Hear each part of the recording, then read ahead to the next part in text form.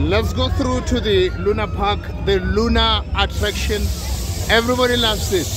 The kids love it, the adults love it, but the kids all the more.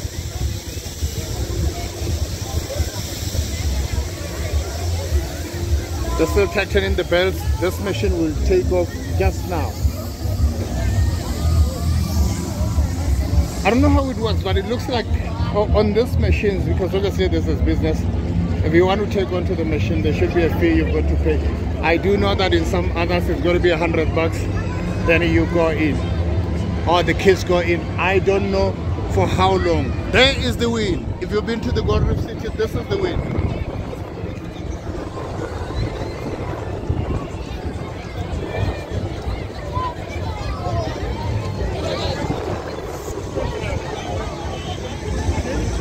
it's glaring, it's happening, it's packed.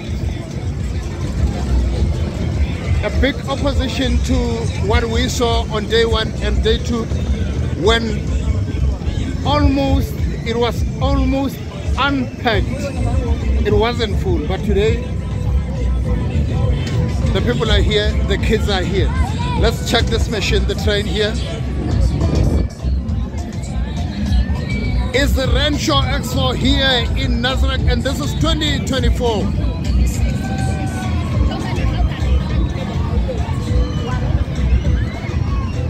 There goes it.